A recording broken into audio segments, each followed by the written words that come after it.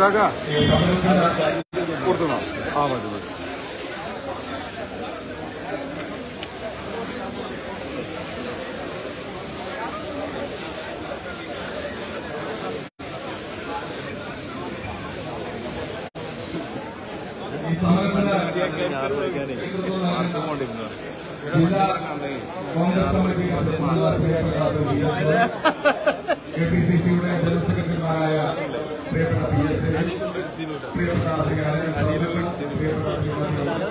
ജില്ലാ U D F ജില്ലാ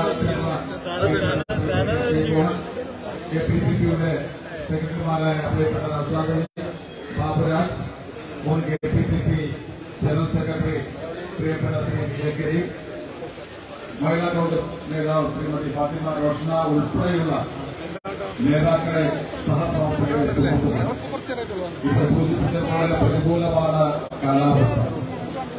ഇപ്പോൾ റെഡ് അലർട്ടും യെല്ലോ അലർട്ടും ഓറഞ്ച് അലർട്ടും ഒക്കെ പ്രഖ്യാപിച്ചിരിക്കുകയാണ്. പക്ഷേ കേരളത്തിലെ കോൺഗ്രസ് എന്ന ഈ പ്രതികൂലമായ കാലാവസ്ഥയിലും കേരളത്തിലെ ഗവൺമെന്റിന് ആ ഗവൺമെന്റിനെ നയിക്കുന്ന പിണറായി വിജയന് റെഡ് അലർട്ട് പ്രഖ്യാപിക്കുന്ന സമരമാണ് ഇന്ന് കേരളം മുഴുവൻ നടത്തുന്നത്. ഈ സമരം ഒരു തുടക്കം മാത്രമാണ്. കാരണം കേരളം ഇന്നുവരെ കണ്ടിട്ടില്ലാത്ത ഒരു ഫാസിസ്റ്റ് സംസ്കാരത്തിന് ഫാസിസ്റ്റ് രാഷ്ട്രീയ സംസ്കാരത്തിന് തുടക്കം കുറിക്കുകയാണ്. ജനാധിപത്യ രീതിയിൽ അധികാരത്തിൽ വരുന്ന ഗവൺമെന്റുകളുടെ തെറ്റുകൾ ചൂണ്ടിക്കാണിക്കുക അഴിമതികൾ തുറന്നു കാണിക്കുക അവരെ നേരായ ദിശയിലേക്ക് നയിക്കുക എന്നുള്ളത് ജനാധിപത്യത്തിൽ പ്രതിപക്ഷത്തിന്റെ ധർമ്മമാണ്. കേരളത്തിൽ അമ്പത്തേഴ് എം ശങ്കരൻ നമ്പൂതിരിപ്പാടിന്റെ ഗവൺമെന്റ് മുതൽ ഇങ്ങോട്ട് അഴിമതി ആരോപണങ്ങൾ നേരിട്ടിട്ടുണ്ട്. ആ അഴിമതി ആരോപണങ്ങളൊക്കെ ഉയർത്തിയിട്ടുള്ളത് പ്രതിപക്ഷത്ത് കോൺഗ്രസ് ആണെങ്കിൽ പ്രതിപക്ഷത്ത് ബി സി പി എം ആണെങ്കിൽ ആ ഉത്തരവാദിത്തങ്ങൾ അവർ നിറവേറ്റിയിട്ടാണ് പോന്നിട്ടുള്ളത് അത്തരം അഴിമതി ആരോപണങ്ങൾ ഉന്നയിക്കുമ്പോൾ അമ്പത്തേഴ് മുതലുള്ള ചരിത്രം പരിശോധിച്ചാൽ അത്തരത്തെ ഗവൺമെന്റുകളൊക്കെ തന്നെ ആ അന്വേഷണങ്ങൾ ആ അഴിമതി ആരോപണങ്ങൾ അന്വേഷിക്കാൻ തയ്യാറായ ചരിത്രമാണ് ഞാൻ അതിന്റെ വിശദാംശങ്ങളിലേക്ക് കിടക്കുന്നില്ല. ചരിത്രത്തിൽ ആദ്യമായിട്ടാണ് അഴിമതി ഉന്നയിച്ചു കഴിഞ്ഞാൽ പ്രതിപക്ഷം അതിന്റെ ഉത്തരവാദിത്വം നിറവേറ്റി കഴിഞ്ഞാൽ അഴിമതി ആരോപണങ്ങളുടെ ഒരു നീണ്ട പട്ടിക ഞാൻ പറയുന്നില്ല. A I camera K phone പിങ്കള അഴിമതി തുടങ്ങി ഒട്ടനവധി അഴിമതി അഴിമതി ഡോളർ കേസ് പോലെയുള്ള രാജ്യസഭയ്ക്കും പുറത്തും ബന്ധമുള്ള വലിയ കുംഭകോണങ്ങൾ അതുപോലെ സ്വർണക്കള്ളക്കടത്ത് കേസ്. ഇത്തരം അഴിമതി ആരോപണങ്ങളൊക്കെ യു ഡി എഫും കോൺഗ്രസും ഉയർത്തുമ്പോൾ അത് അന്വേഷിക്കുവാനോ അതിന് മറുപടി പറയുവാനോ ഗവൺമെന്റ് മുൻഗണനയോ മുന്നോട്ട് വരുന്നില്ല എന്ന് മാത്രമല്ല അതിന് അത്തരം ആരോപണങ്ങൾ കൊണ്ടുവരുന്ന പ്രതിപക്ഷ നേതാക്കൾക്കെതിരെ കേസെടുക്കുന്ന രാഷ്ട്രീയ സാഹചര്യം കേരളത്തിന്റെ ചരിത്രത്തിലാദ്യമാണ്. കെ പി സി സി പ്രസിഡന്റിനെതിരെ കേസെടുക്കുന്നു. കേരളത്തിലെ പ്രതിപക്ഷ നേതാവിനെതിരെ കേസെടുക്കുന്നു. യഥാർത്ഥത്തിൽ പ്രതികളായി നിൽക്കുന്നവർ ഇന്ന് കുറ്റങ്ങൾ ചൂണ്ടിക്കാണിക്കുന്നവരെ കേസെടുക്കുന്ന ഒരു സാഹചര്യം ഉത്സവപ്പറമ്പിലെ പോക്കറ്റടിക്കാരന്റെ റോളാണ് ഇന്ന് പിണറായി വിജയനുള്ളത്. കളവ് നടത്തിയത് അദ്ദേഹമാണെങ്കിൽ അദ്ദേഹം മറ്റുള്ളവരെ മുഴുവൻ ഇന്ന് പഴിചാരിക്കൊണ്ട് അധികാരമുണ്ട് എന്ന് കരുതിക്കൊണ്ട് ഏതറ്റം വരെ പോകാമെന്നതിന്റെ തെളിവാണ് ഇന്ന് ഈ കേസിലൊക്കെ തന്നെ. കേസിന്റെ വിശദമായ കാര്യങ്ങളിലേക്ക് കടന്നു കൊടുക്കുന്നുണ്ട് പക്ഷെ അത്ഭുതപ്പെടുത്തുന്ന കാര്യങ്ങളാണ്. കെ പി സി പ്രസിഡന്റിനെതിരെയുള്ള കേസൊക്കെ പരിശോധിച്ചു കഴിഞ്ഞാൽ പത്ത് ലക്ഷം രൂപ കൊടുക്കുന്നത് കണ്ടോ എന്ന് പറഞ്ഞതിന്റെ പേരിൽ ആ, സുധാകരന് കൂടി അത് അറിഞ്ഞുകൊണ്ടാണ് കൊടുത്തത് എന്ന് പറഞ്ഞതിന്റെ പേരിലാണ് കേസ് എടുക്കുന്നത്. വി ഡി സതീശനെതിരെയുള്ള കേസ് പ്രളയത്തിന്റെ കാലഘട്ടത്തിൽ വീടുകൾ തകർന്ന നൂറുകണക്കിന് ആളുകൾ അനാഥരായി പോയപ്പോൾ ഒരു വീട് പോലും ഇല്ലാത്ത സാഹചര്യത്തിൽ അവർക്ക് വീട് കൊടുക്കാൻ തയ്യാറായതിനെയാണ് ഗവൺമെന്റ് അന്വേഷിച്ച് കേസെടുക്കുന്നത്. എല്ലാ അന്വേഷണവും കഴിഞ്ഞതാണ്. കഴിഞ്ഞ നിയമസഭയിൽ പോലും ഇക്കാര്യം ചർച്ച ചെയ്തു. അതുമായി ബന്ധപ്പെട്ട എല്ലാ കാര്യങ്ങളും പറഞ്ഞതാണ്. ഹൈക്കോടതി പോലും തള്ളിക്കളഞ്ഞ കാര്യമാണ്.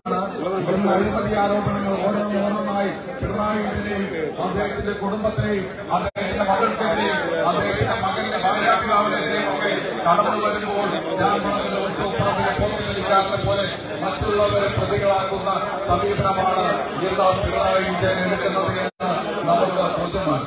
ഇന്ന് നമുക്കറിയാം ഇത് പറയുന്നത് ആരുടെ പേരിലാണ് കെ പി സി സി പ്രസിഡന്റിനെ കേസെടുത്തത് മോശം ഭാവത്തിൽ എന്ന് പറയുന്ന പുരാവസ്തു തട്ടിപ്പ് നടത്തുന്ന ആളുടെ ഡ്രൈവറുടെ മൊഴിയുടെ പേരിലാണ്. രണ്ട് കോടി മുപ്പത്തഞ്ച് ലക്ഷം രൂപ കൈവലപ്പാറയിൽ പൊതിഞ്ഞ് പാർട്ടി ഓഫീസിൽ നിന്ന് കൊണ്ടുപോയി എന്ന് പറയുന്ന ആരാണ്? രണ്ടായിരത്തി അഞ്ച് വരെ ദേശാഭിമാനിയുടെ അസോസിയേറ്റ് എഡിറ്ററായിരുന്ന ജി ശക്തിധരന്റെ ആണ് ശക്തിധരനാണ് വളരെ വ്യക്തമായ രീതിയിൽ ഏതാണ്ട് രണ്ട് കോടി മുപ്പത്തഞ്ച് ലക്ഷം രൂപ കൈതോലപ്പായയിൽ പൊതിഞ്ഞ് കൊണ്ടുപോയി എന്ന് പറയുന്നത് പാരീസ് സബൂബക്കറുമായി മുഖ്യമന്ത്രിക്ക് പങ്കുണ്ട് എന്ന് പറയുന്നത് മാധ്യമ പ്രവർത്തകയാണ്. അതിനെക്കുറിച്ചൊന്നും സമൂഹത്തിൽ ഉത്തരവാദിത്വത്തോടുകൂടി പ്രവർത്തിക്കുന്നവർ പറയുന്ന ആരോപണങ്ങൾ കേസെടുക്കുവാൻ തയ്യാറാകുന്നില്ല.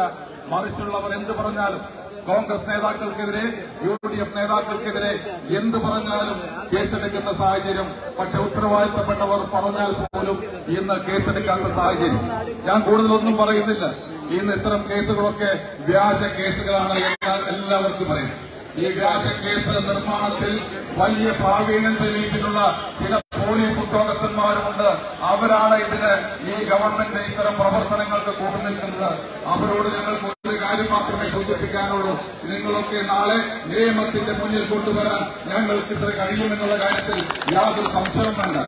ഇന്ന് കെ സുധാകരന്റെ കേസ് അന്വേഷിക്കുന്ന ഒരു ഡിവൈഎസ്പി അദ്ദേഹം മലപ്പുറത്ത് ഏതാനും കാലം വർക്ക് ചെയ്തതാണ്. ഇവിടെ അന്വേഷിച്ചാൽ അറിയാം അദ്ദേഹത്തിനൊക്കെ പഴയ ചരിത്രം.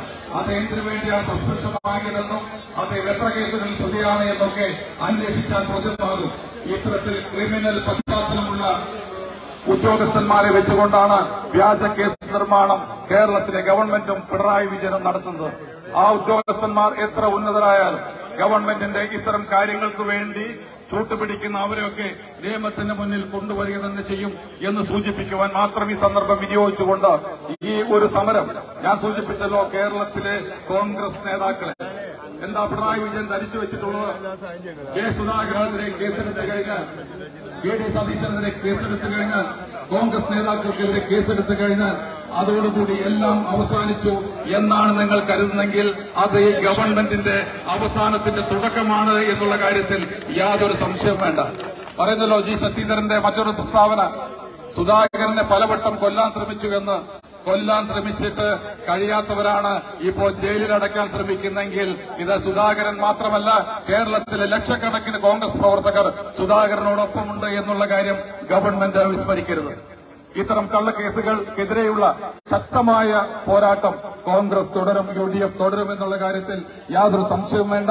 നാളുകളിൽ ഈ കേസെടുക്കുന്നവരൊക്കെ അധികാരത്തെ പുറത്തു പോയി കഴിഞ്ഞാൽ നമുക്കറിയാം ഇന്ന് അന്വേ- ഇന്ന് ഈ ആരോപണങ്ങളൊക്കെ അന്വേഷിച്ചു കഴിഞ്ഞാൽ ഇവരൊക്കെ പാർപ്പിക്കാൻ പുതിയ ജയിലുകൾ നമുക്ക് ഉണ്ടാക്കേണ്ടി വരും. അത്രമാത്രം ഇന്ന് പ്രതികൾ ഇന്ന് ഈ ഗവൺമെന്റിലുണ്ട് എന്നുള്ള കാര്യം സംശയമില്ല. നാളുകളിൽ ഇവരൊക്കെ കാലത്തിനോട് കണക്ക് പറയേണ്ടി വരും എന്ന് സൂചിപ്പിച്ചുകൊണ്ട് ഇത്തരം കള്ളക്കേസുകൾ എടുത്തുകൊണ്ട് പ്രതിപക്ഷ ശബ്ദം അടിച്ചമർത്താനുള്ള നീക്കത്തെ ഗവൺമെന്റിന്റെ ഈ ശ്രമങ്ങളെ ഈ കേരളത്തിലെ മുഴുവൻ ജനാധിപത്യ വിശ്വാസികളും ഒരുമിച്ച് എതിർക്കണമെന്ന് ആവശ്യപ്പെട്ടുകൊണ്ട് ഒരിക്കൽ കൂടി ഈ ഒരു പ്രതികൂലമായ കാലാവസ്ഥയിൽ ജില്ലാ കോൺഗ്രസ് കമ്മിറ്റിയുടെ ആഹ്വാനമനുസരിച്ച് ഇവിടെ കോൺഗ്രസിന്റെ ഊർജസ്വലായ പ്രവർത്തകരെ പ്രത്യേകം അഭിവാദ്യം ചെയ്തുകൊണ്ട് ജില്ലാ കോൺഗ്രസ് കമ്മിറ്റിക്ക് അഭിവാദ്യങ്ങൾ അർപ്പിച്ചുകൊണ്ട് ഈ സമരത്തിന്റെ ഉദ്ഘാടനം നിർവഹിക്കുന്നു. നന്ദി. ജയ് കോൺഗ്രസ്.